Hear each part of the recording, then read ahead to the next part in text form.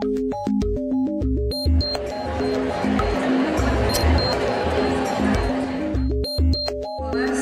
provincia de Entre Ríos, reconocida pionera en educación, nuevamente se destaca por su trabajo educativo en referencia a la resignificación de la escuela secundaria. En esta oportunidad, en el segundo Congreso de Educación Secundaria, Conocimiento, Inclusión, Ciudadanía. Desde que se iniciara la gestión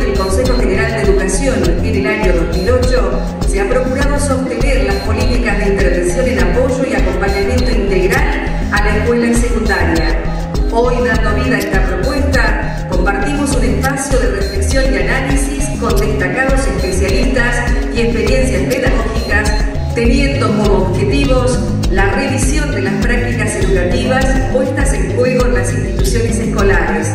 recuperar el sentido atribuido a la escuela secundaria de este ciclo, optimizar los modos de trabajo colaborativo en pos de garantizar las mejores oportunidades para las trayectorias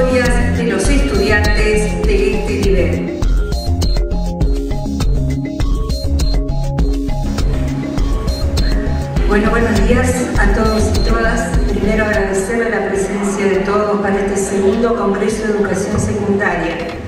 donde a partir de la nueva Ley de Educación Nacional y Provincial, la educación secundaria es obligatoria, donde nos refleja un gran desafío, un desafío de responsabilidad para hacer el cambio hacia dentro de las instituciones. Destaco la palabra de Liliana Lazo, el acompañamiento que tuvimos desde Nación, desde la provincia y de la presidenta del Consejo de Educación, donde hemos recorrido cada departamento el año pasado junto a Graciela Maciel, que también una gran fortaleza para la educación secundaria, donde recorrimos la provincia juntas para contarles lo que tenía que pasar a partir del 2011, donde la educación entrerriana es una sola, donde las escuelas privadas se sumaron a esta transformación educativa con 17 escuelas muestrales.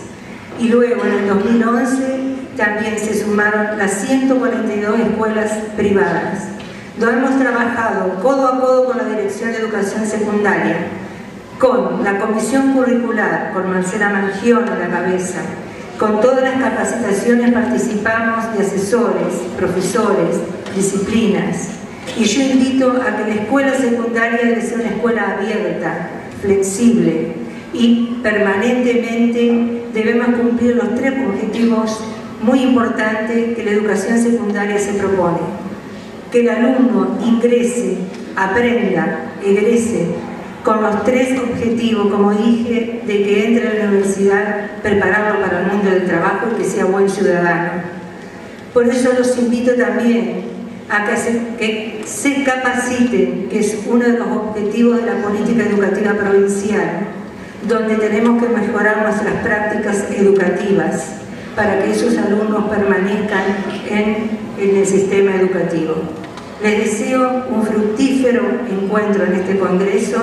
y que sigan capacitándose y muchas gracias a todos.